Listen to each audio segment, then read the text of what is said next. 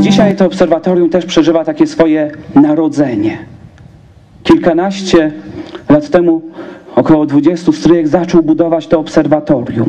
To było w jego myślach, to jakby się rodziło w nim i nabierało coraz bardziej wyraźnych kształtów. Dzisiaj jest taki dzień, kiedy to obserwatorium jest jakoś oddawane do użytku publicznego, jakoś wychodzi na świat, żeby wszyscy mogli go zobaczyć i, i z niego korzystać. Nie jest dobrze, jeżeli nasza wiara nie jest pogłębiona refleksją intelektualną, albo kiedy w naszych rozmyślaniach brakuje wiary. Takim człowiekiem, który był i bardzo mądrym i głęboko wierzącym, była na pewno święta patronka tego obserwatorium, święta Jadwiga.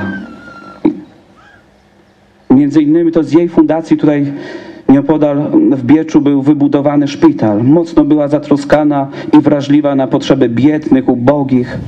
Wielką jej troską była Akademia Krakowska. Miała właśnie połączyć głębo, y, głęboką wiarę z taką szeroką aktywnością na forum i państwa, i zagranicy, i nauki. I mamy też wielką nadzieję, że, że to obserwatorium, które wciąż powstaje, będzie służyć do tego, żeby zbliżać nas do Boga, żebyśmy się zachwycali nad Jego mądrością, nad Jego pięknem. Bo studiując astronomię, studiując różne nauki, trzeba zadać pytanie o pierwszą przyczynę, o najgłębszy sens. I wtedy nie da się udzielić odpowiedzi, nie mówiąc o Panu Bogu. Módlmy się i zawierzajmy to, to wielkie dzieło Bożej Opatrzności, żeby służyło jak, jak największej chwale Boga. Amen.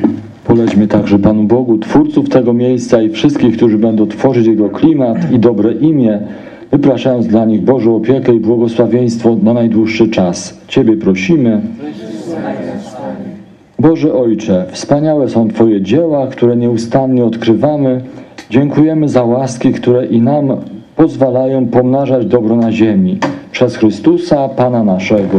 Wszechmogący Boże, przyjmij dary, które Ci składamy, obchodząc wspomnienie świętej Jadwigi Królowej. I sprawa, byśmy świadomi Twojej obecności, jaśnieli świętą i czynną miłością. Przez Chrystusa, Pana naszego. Po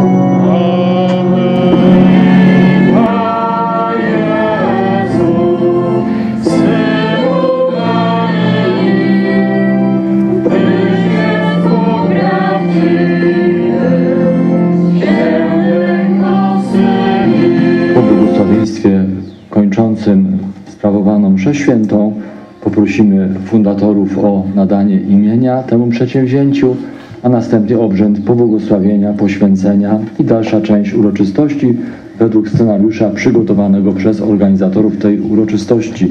Wszystkim za wspólnotę modlitwy serdeczne Bóg zapłać.